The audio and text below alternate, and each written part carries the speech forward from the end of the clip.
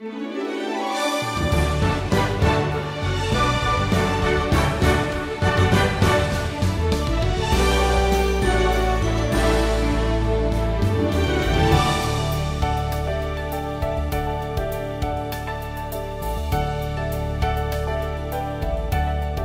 Lord has judged King Saul as unfit to rule the nation of Israel.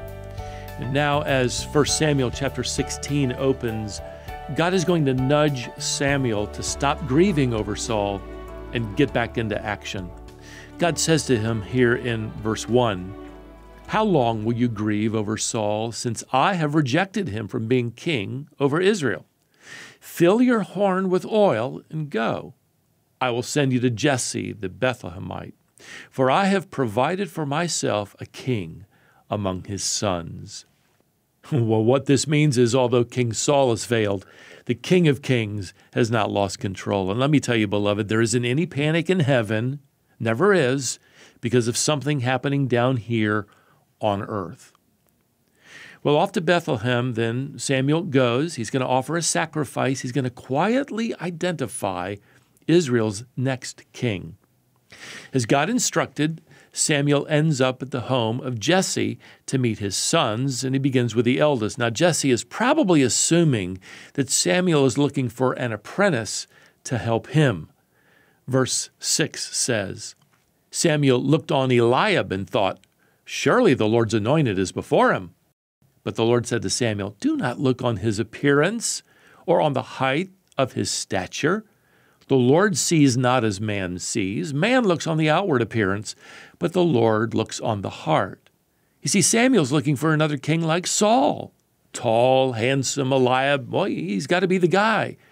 God says, I'm not looking at his height, I'm looking at his heart.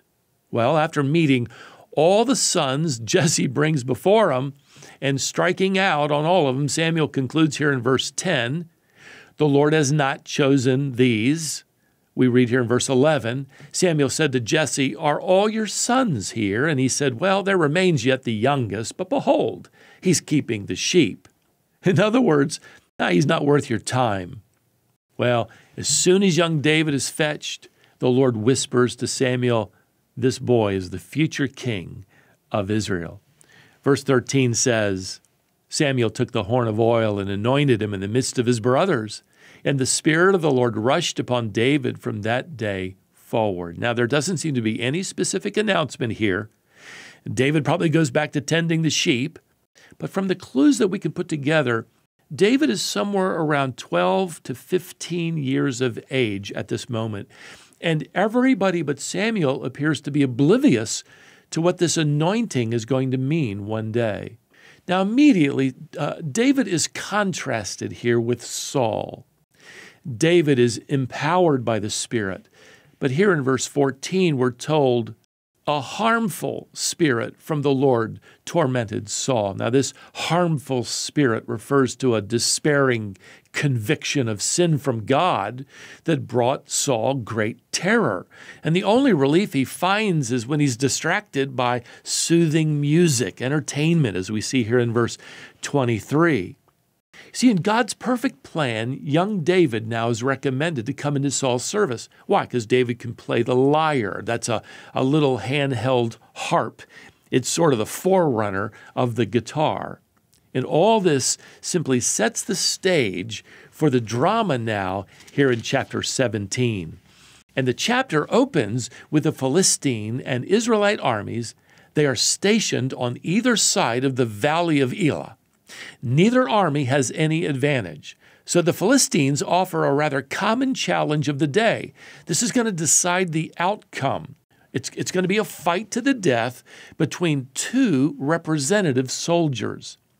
Well, the Philistines send out their representative. Here in verse 4, we're told it's a champion named Goliath.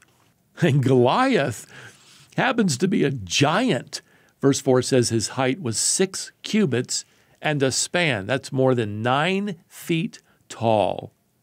He's wearing a coat of mail weighing 5,000 shekels of bronze. That's a little more than a 100 pounds here in verse 5.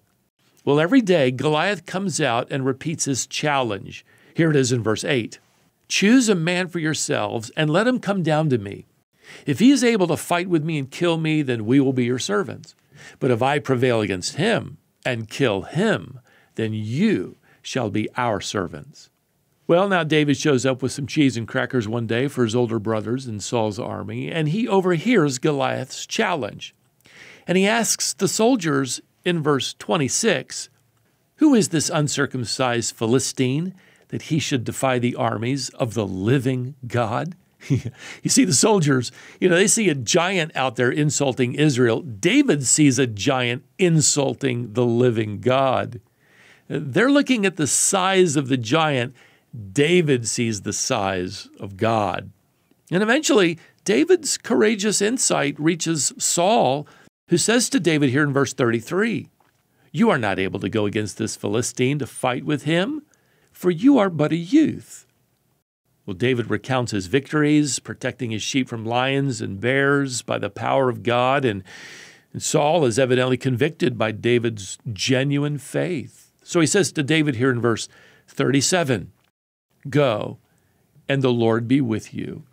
Well, Saul first here tries to put David into his suit of armor. He see he thinks David has to fight Goliath like Goliath fights.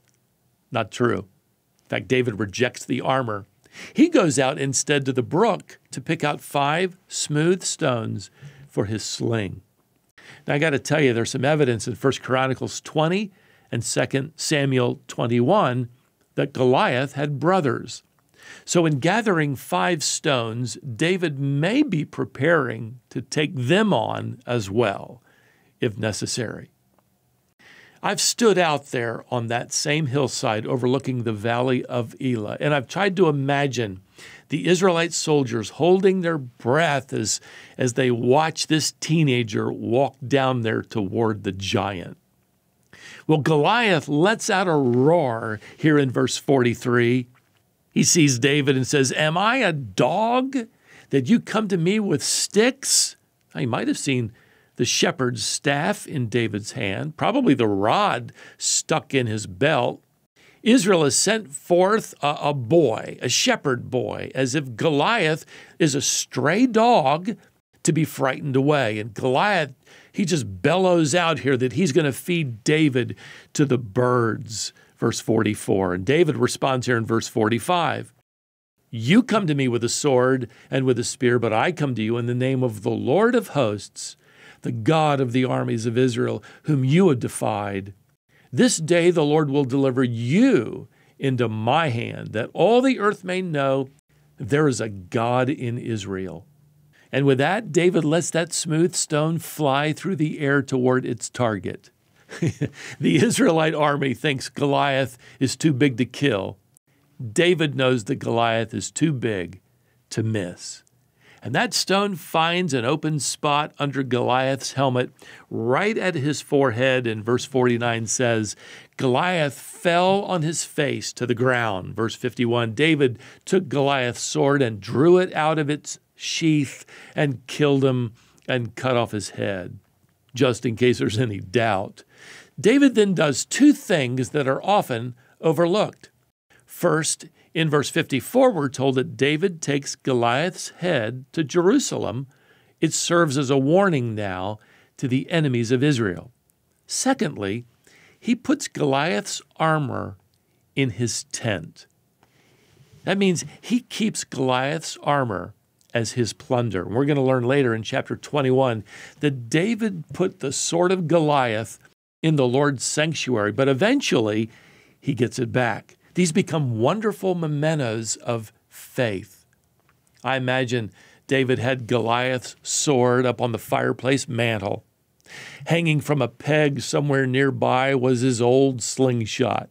These are all mementos of God's faithfulness. Let me recommend, beloved, that you keep a mental trophy case or you write down in a journal those steps of faith, those moments of victory those experiences of God's rescue at just the right moment. Find a way to remember and rejoice over the faithfulness of God. Well, until our next journey together, May the grace of the Lord Jesus Christ and the love of God and the fellowship of the Holy Spirit be with you all. Amen.